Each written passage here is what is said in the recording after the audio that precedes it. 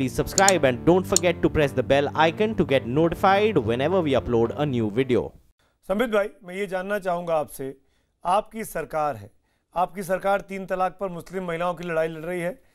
बड़ी राहत मिली है निदा खान को। सुप्रीम कोर्ट के उस फैसले के बाद आज आज अमान्य करार दिया गया, उनके तीन तलाक को वो अपनी लड़ाई जीत सकी।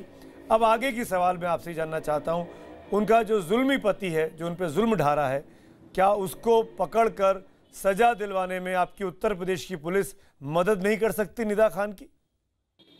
उसके रसूख का दबाव चलेगा बरेली देखिए सुमित जी दो चीज़ें कहना चाहता हूँ। पहले तो व्यक्तिगत रूप से निदा जी को मैं बहुत धन्यवाद देना चाहता हूँ। हम बहुत छोटे हैं वैसे मगर फिर भी एक साधारण हिंदुस्तानी के नाते आपका धन्यवाद करना चाहता हूँ कि आप जैसे महिलाओं ने ये जो अलग छेड़ी है, ये जो लड़ाई लड़ने का काम किया है, बहुत कुछ व्यक्तिगत तौर पे सहते हुए ये कोई छोटी बात नहीं है। इस लॉ को कभी बुझने मत दीजिएगा, क्योंकि आपके हिम्मत को देखकर शायद करोड़ों लोग जो टीवी देखते होंगे, बहुत सारी महिलाएँ जो किसी कोने में पड़ी होंगी, दुबकी हुई पड़ी होंगी, और उनको लगता होगा कि मेरे में हिम्मत नहीं है, वो आपको देखकर जगेंगी और आपके हिम्मत से हिम्मत लेकर लड़ेंगी।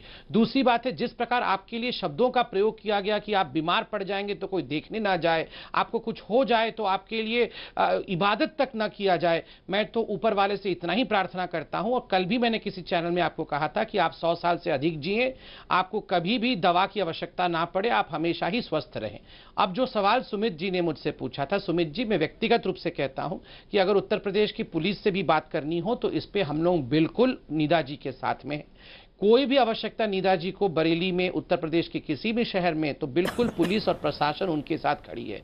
बल्कि खुद प्रधानमंत्री जी आ, ट्रिपल तलाक और निकाह हलाला को लेकर जितने जागरूक हैं और इस विषय को लेकर व्यक्तिगत रूप से जिस प्रकार वो हर मंच पर चाहे सुप्रीम कोर्ट में एफिडेविट देने का विषय हो चाहे पार्लियामेंट में इस विषय को लेकर दो दो हाथ करके लोकतांत्रिक तरीके तरीके से जूझने का विषय हो खुद प्रधानमंत्री इज़ टेकिंग द लीड जब हमारे सर्वोच्च नेता लीड ले रहे हैं तो कोई प्रशासन इससे पीछे नहीं रह सकता है। मैं आपको यह आश्वासन देता